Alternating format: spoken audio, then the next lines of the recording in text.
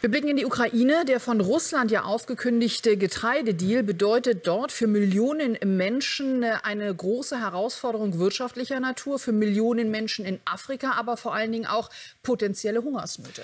Vielen Bauern in der Ukraine wird dagegen die Existenzgrundlage entzogen. Sie werden ihre Ernte nicht mehr los. Reporter Max Hermes hat einen von ihnen in Odessa getroffen.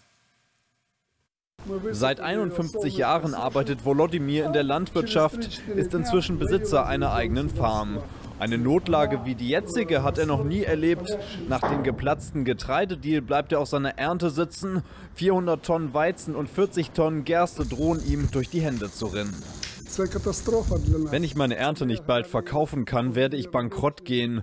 Ich brauche das Geld, um die Ernte für das Jahr 2024 vorzubereiten. Die einzige Chance, daran zu kommen, ist es, die Ernte von diesem Jahr irgendwie an den Mann zu bringen. Auf den Autobahnen vor Odessa stauen sich die Lkw.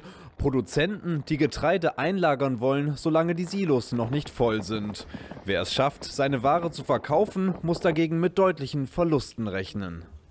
Während die Preise nach dem geplatzten Getreidedeal auf dem Weltmarkt gestiegen sind, sind sie innerhalb der Ukraine dramatisch gesunken. Bis zu 40 Prozent weniger können Bauern beispielsweise für ihr Weizen verlangen. Derweil sucht die Politik nach Alternativen, um das Getreide auch abseits des Wassers auf den Weltmarkt zu bringen. Wir sind dabei zu untersuchen, wie wir das Getreide über die Straße oder Schiene transportieren können. Aber natürlich steigen dadurch die Preise. Ich hoffe deshalb, dass der Verstand einer zivilisierten Gesellschaft gegen den eines kleinen Diktators gewinnt und wir den Getreidedeal wiederbeleben.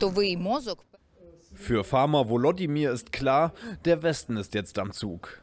Es gibt nur eine Möglichkeit. Die gesamte internationale Gemeinschaft sollte Druck ausüben auf Putin, um den Getreidedeal zu erneuern, damit wir unsere Ernte verkaufen können.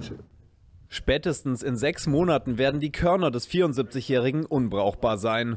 Doch der Unternehmer braucht schon vorher eine Lösung. Für die Ernte im kommenden Jahr ist es sonst zu spät.